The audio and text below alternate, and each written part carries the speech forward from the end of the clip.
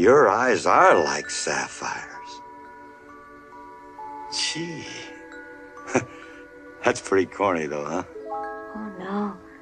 Not at all. Any woman would like it.